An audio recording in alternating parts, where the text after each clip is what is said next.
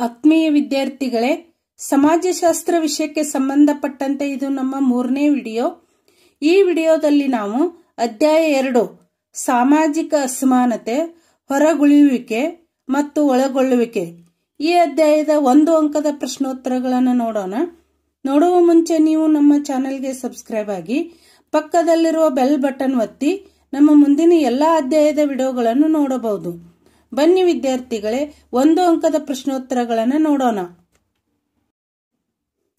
ಪ್ರಶ್ನೆ ಒಂದು, ಜಾತಿ ಎಂಬ ಪದವು ಹೇಗೆ ಉತ್ಪತ್ತಿಯಾಗಿದೆ?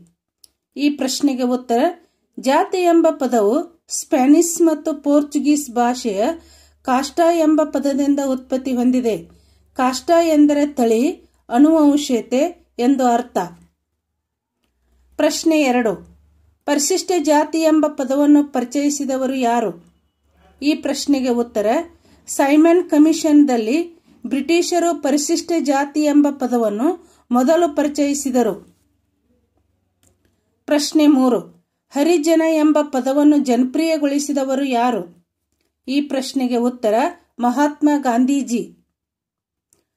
ಪ್ರಶ್ನೆ ನಾಲ್ಕು, ದಕ್ಷಿಣ ವಲಯದ ಯಾವುದಾದರೂ ಒಂದು ಬುಡಕಟ್ಟುಗಳನ್ನು ಹೆಸರಿಸಿ. ಈ ಪ್ರಶ್ನೆಗೆ ಉತ್ತರ, ಚೆಂಚು, ಕೋಟ, ಬಡಗ, ತೋಡ, ಸೋಲಿಗ ಕಾಡು ಕುರುಬ ಜೇನು ಕುರುಬ ಹಕ್ಕಿ ಪಿಕ್ಕಿ. ಪ್ರಶ್ನೆ ಐದು. ಪ್ರತ್ಯೇಕತೆಯ ನೀತಿಯನ್ನು ಪ್ರತಿಪಾದಿಸಿದವರು ಯಾರು? ಈ ಪ್ರಶ್ನೆಗೆ ಉತ್ತರ, ಜೆ. ಎಚ್ ಹಟನ್ ಮತ್ತು ವೆರಿಯರ್ ಎಲ್ವಿನ್. ಪ್ರಶ್ನೆ ಆರು.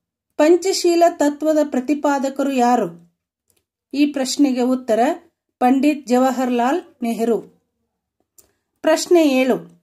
ಭಾರತ ಸರ್ಕಾರವು ನೇಮಿಸಿದ ಹಿಂದುಳಿದ ವರ್ಗಗಳ ಆಯೋಗಗಳಲ್ಲಿ ಒಂದನ್ನು ಹೆಸರಿಸಿ. ಈ ಪ್ರಶ್ನೆಗೆ ಉತ್ತರ ಒಂದು, ಕಾಲೇಲ್ಕರ್ ಆಯೋಗ, ಎರಡು, ಮಂಡಲ್ ಆಯೋಗ. ಪ್ರಶ್ನೆ ಎಂಟು. ಪ್ರಬಲ ಜಾತಿಯ ಪರಿಕಲ್ಪನೆಯನ್ನು ಪರಿಚಯಿಸಿದವರು ಯಾರು? ಈ ಪ್ರಶ್ನೆಗೆ ಉತ್ತರ ಡಾಕ್ಟರ್ ಎಂ ಎನ್ ಶ್ರೀನಿವಾಸ್. ಪ್ರಶ್ನೆ ಒಂಬತ್ತು. ಬುಡಕಟ್ಟನ್ನು ವ್ಯಾಖ್ಯಾನಿಸಿ. ಈ ಪ್ರಶ್ನೆಗೆ ಉತ್ತರ, ಆರ್ ಸಿ ವರ್ಮಾ ಅವರ ಪ್ರಕಾರ, ಬುಡಕಟ್ಟು ಎನ್ನುವುದು ಸಾಮಾನ್ಯವಾಗಿ ಜನಾಂಗೀಯ ಸಮೂಹವನ್ನು ಸೂಚಿಸುತ್ತದೆ.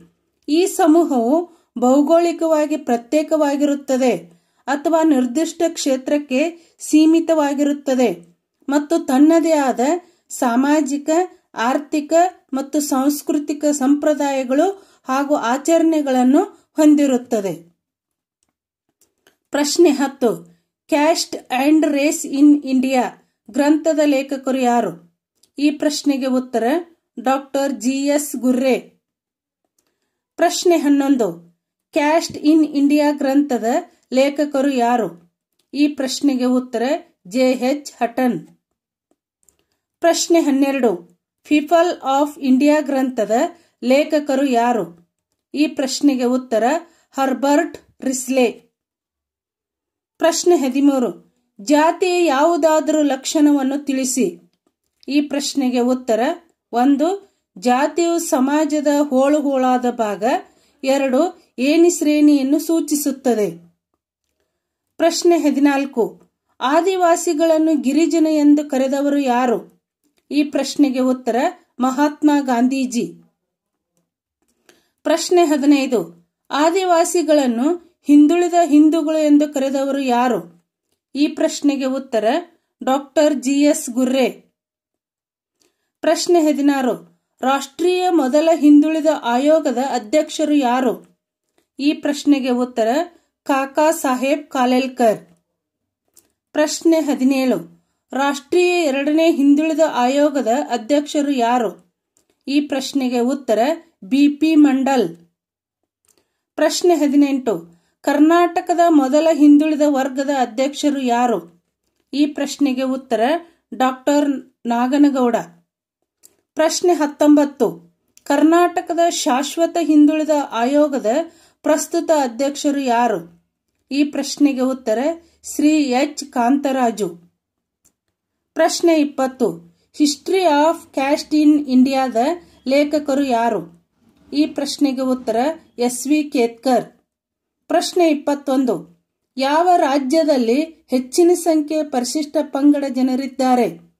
ಈ ಪ್ರಶ್ನೆಗೆ ಉತ್ತರ ಮಧ್ಯಪ್ರದೇಶ. ಪ್ರಿಯ ವಿದ್ಯಾರ್ಥಿಗಳೇ, ಈ ವಿಡಿಯೋ ನಿಮಗೆ ಇಷ್ಟವಾಗಿದ್ದರೆ ಲೈಕ್ ಮಾಡಿ, ಶೇರ್ ಮಾಡಿ, ಸಬ್ಸ್ಕ್ರೈಬ್ ಆಗಿ.